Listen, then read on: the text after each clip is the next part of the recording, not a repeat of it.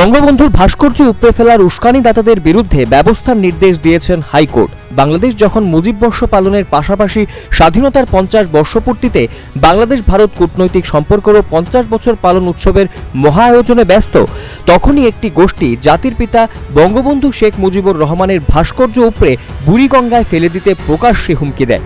একই দিনে একাধিক ধর্মীয় সংগঠনের নেতার এমন হুমকি ও উস্কানিমূলক বক্তব্য আসার পর কুষ্টিয়ায় নির্মাণাধীন বঙ্গবন্ধুর ভাস্কর্য ভাঙা হয়।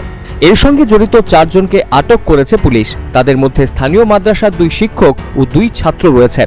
তাদেরকে পুলিশ হেফাজতে এনে জিজ্ঞাসাবাদ করা হচ্ছে। ভাস্কর্য উপড়ে ফেলার উস্কানিমূলক বক্তব্য দেওয়ায় এরই মধ্যে তিন মাওলানার বিরুদ্ধে রাষ্ট্রদ্রোহ মামলা হয়েছে। এর প্রেক্ষিতে বাংলাদেশের জাতির পিতা বঙ্গবন্ধু শেখ মুজিবুর রহমানের ভাস্কর্য ভাঙচুরকারী অপরাধী ও ভাস্কর্য স্থাপনের বিরোধিতা করে উস্কানিদাতাদের বিরুদ্ধে সংবিধান এবং প্রচলিত আইন অনুযায়ী শাস্তিমূলক ব্যবস্থা নিতে নির্দেশ দিল দেশটির উচ্চ আদালত। এর আগে বাংলাদেশের বিভিন্ন স্থানে স্থাপিত বঙ্গবন্ধুর ভাস্কর্যের রক্ষায় প্রয়োজনীয় ব্যবস্থা নিতে আইন শৃঙ্খলা বাহিনীকে নির্দেশ দেওয়া হয়েছিল। সেই প্রেক্ষিতে ভাস্কর্য প্রহরায় পুলিশ নিয়োজিত করা হয়েছে।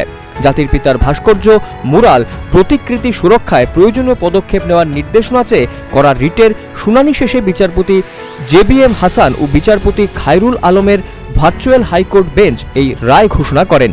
প্রসঙ্গত, তেরো নভেম্বর ঢাকায় তৈহিদি জনতা ঐক্য পরিষদের ব্যানারে আয়োজিত সমাবেশ থেকে মুজিব বর্ষ উপলক্ষে বঙ্গবন্ধুর ভাস্কর্য স্থাপনের বিরোধিতা করে উস্কানিমূলক বক্তব্য দেওয়া হয় এবং ভাঙচুর করা হয় বঙ্গবন্ধুর মূর্তি।